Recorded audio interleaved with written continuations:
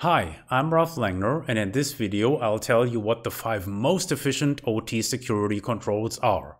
But first let's define what efficiency really means. According to dictionary.com, efficient means performing or functioning in the best possible manner with the least waste of time and effort. And that's exactly what we want to achieve in lean OT security. We want to minimize waste and we want to maximize value. And here's what that means in concrete terms. You don't need to do risk assessments or penetration tests or threat intelligence monitoring in order to conclude that these controls perform well in your environment. Actually, they perform so well that they would have blocked any cyber physical attack on the record from Stuxnet to the Triconex attack. So without further ado, let's look at the five most efficient OT security controls in reverse order. Number five, contingency plans. Do you think that you will never fall victim to a cyber attack? Serious question, just think about it for a second. If your answer is no, then you better have a good plan on how to clean up the mess. Because here is what happens if you have to improvise in the case of a cyber attack, then it's predictable that your performance will be subpar. So you better have a plan well ahead. Or in the words of the famous investor Peter Thiel, a bad plan is better than no plan at all. And that would mean things like where are the backup files for this specific system? Can a specific computer be rebooted during production or do you have to shut down the production process first? All the various specifics that can well be answered ahead should be contained and readily available in good contingency plans. Number four, secure remote access if you want to take advantage of remote maintenance or uh, remote condition monitoring, all the nice, interesting functions that also come with the so-called IoT, then you better make sure that your remote access options are well secured, that they are monitored tightly.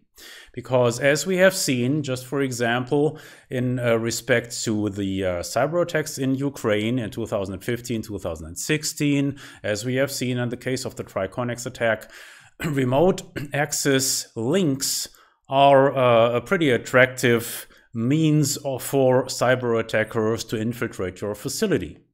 So uh, let's get a little bit more concrete here. If you have a jump server that means that somebody from the outside can jump into your DMZ and from there directly access any critical ICS components, then you might rethink your architecture because in fact you don't have DMZ at all. A real DMZ only allows inbound access from both sides. So what you would want to check out, for example, is moving to the so-called rendezvous server in, in case uh, instead of a jump server, which allows you to um, monitor and control remote access much tighter.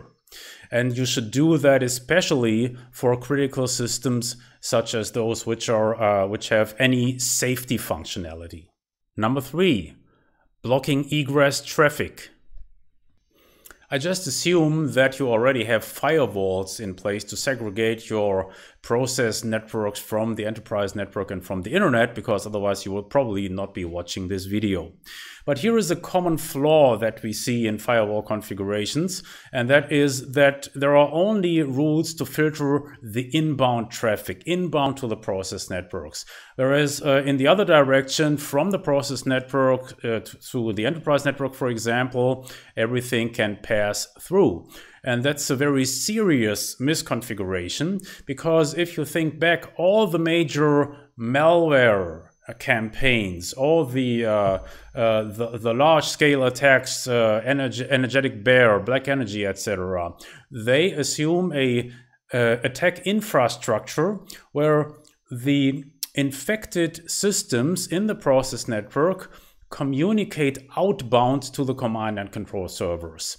And that is very easy to block just by using proper egress filter rules, which makes sure that anything that goes from the process network outbound can only reach legitimate systems.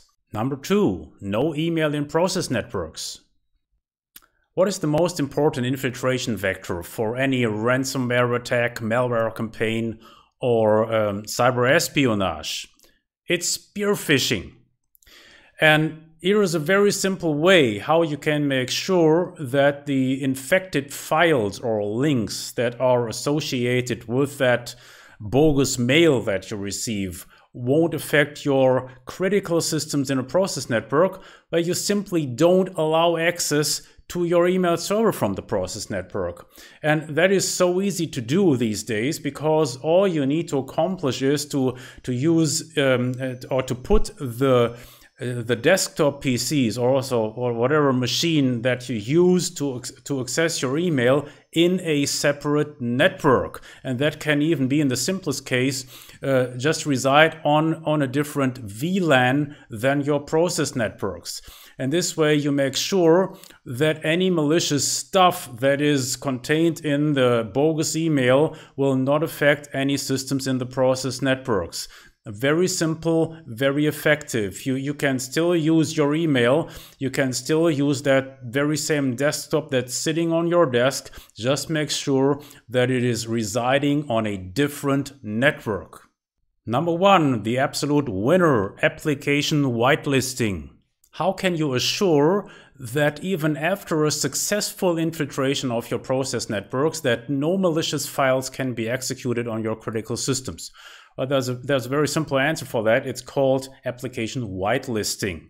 So, and, and, that's a technology that's pretty much com complementary to uh, antivirus, and it works uh, using a whitelist, as the name implies. And just if, if you haven't heard about it, just Google this stuff. It is much more effective than your antivirus. I would go so far and advise you once that you have installed application whitelisting, get rid of, of the damn antivirus. You won't need it any longer.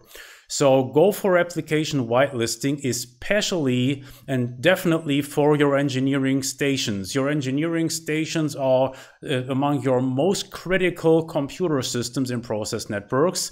Uh, experience has shown that the attackers know this. If you think back to Stuxnet, if you think back to the Triconex attack, so they are um, at, at, in, uh, at let's just say number one on the attackers' wish list you, you want to make sure that these systems cannot execute malicious code even in the case that your process network is infiltrated. And the way to make it happen is by using application whitelisting. If you like this video, subscribe to our YouTube channel and check out the other stuff that we do at langner.com.